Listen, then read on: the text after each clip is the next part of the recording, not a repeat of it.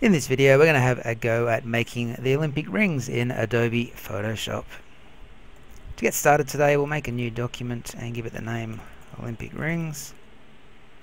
Our profile will be a print one, just one artboard, A4 is our size, landscape orientation, 3mm bleed around the outside and some high quality print settings at the bottom.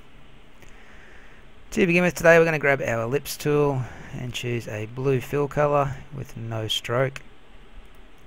We're going to simply hold shift and draw a circle on the page. Once you've done that, I want you to go down to your scale tool or press the letter S for the keyboard shortcut and just press enter on your page and a dialog box will appear. What we're going to do is type in the uniform scale box 80%. So what we're going to do is make a new circle at 80% of the original size of the other one. And instead of clicking OK, we're going to click on copy today what that does is copies a smaller circle on top of the big one.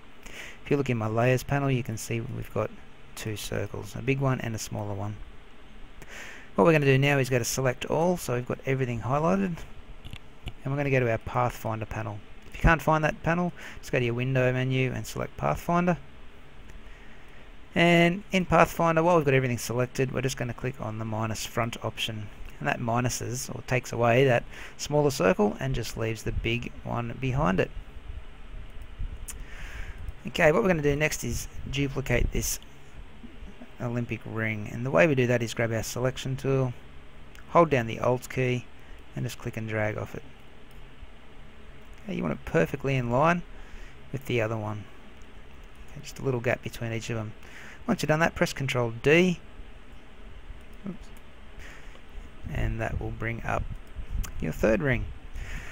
So we've got three Olympic rings so far, we've got two to go which need to go on the bottom. So what I'm going to do is highlight just these two rings, hold the Alt key again and just drag down.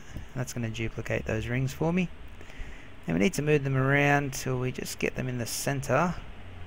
Your guides will show you when you've got it centered. And we'll drop it about there.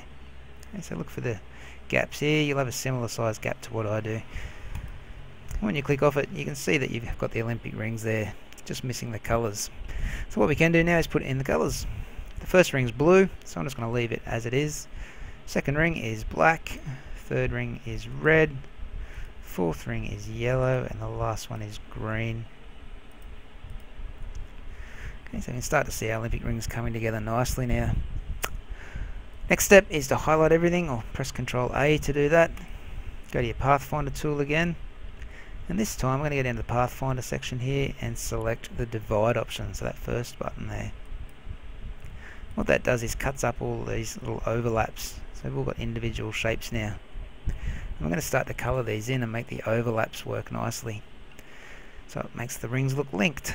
And to do that we're going to use the direct selection tool which is your white arrow.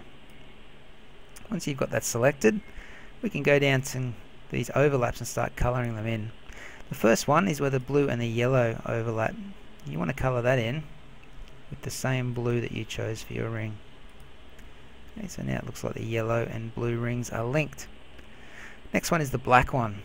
Okay, we need to do the bottom yellow and black overlap here. Just colour that in black. The next one is the green one. Okay, we want to do the top of the green and black just here. We just want to colour that black as well. Looking good so far. And on the red one, we want to do the bottom red and green overlap down here and just colour that in red. Okay, so now we've got our linked Olympic rings. And they're looking pretty good. We will need to highlight them all again once we've done that. I'm going to go back to the Pathfinder tool. And this time, we're going to go to the merge option, which is the third option here. Okay, you may need to press it twice to get it working, but once you've got it working, that all becomes one big shape and we can move around. Last step now, while we've got this selected, we need to put a stroke on it. So select white as your stroke color, and instead of one point, we're going to up the size to about four point. When you click off now, you'll see you've got your Olympic Rings logo.